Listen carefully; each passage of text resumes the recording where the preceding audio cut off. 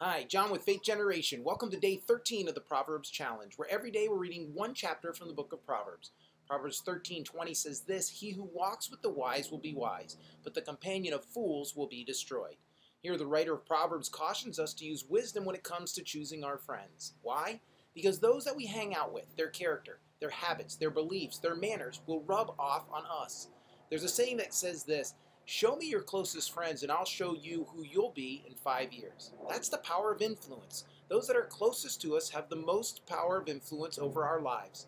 The Apostle Paul wrote this Do not be deceived. Bad company corrupts good character.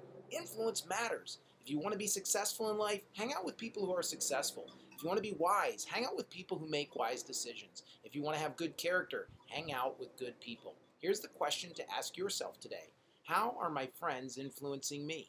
Leave a comment below with your favorite proverb from chapter 13. Read chapter 14 tonight, and I'll see you tomorrow.